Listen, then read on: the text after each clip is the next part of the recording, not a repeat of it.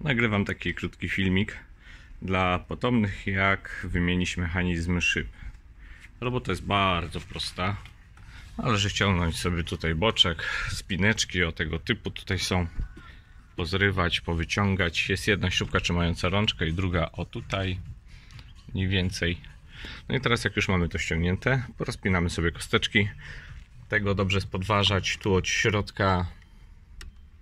Gdzieś tu mam, o przez ten otwór podważyć, wyjdzie ładnie, spineczki się odchyla. Powiedzmy, jak już to wszystko mamy, to możemy zabrać się za mechanizm szyb. Sprawa jest banalna. Dobrze jest mieć dostęp do śrubek. Szczególnie też do tych. Ale żeby wyciągnąć mechanizm, trzeba najpierw wyciągnąć szybę. Więc odkręcamy te dwie. Wyciągamy normalnie do góry przekręcamy. Łatwo wychodzi, nie trzeba się mordować. Chyba nawet lepiej zacząć z tej strony. I jak już mamy ściągnięty e, szybkę, to mamy dostęp do śrub. Sprawa banalna. Tutaj, tutaj, tam, tam.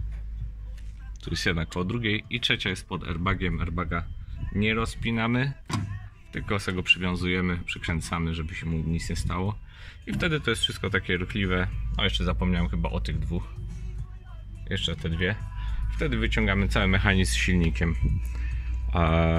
No i to jest właściwie wszystko. Składamy. Jeszcze taki krótki appendix. Czy jak to się mówi.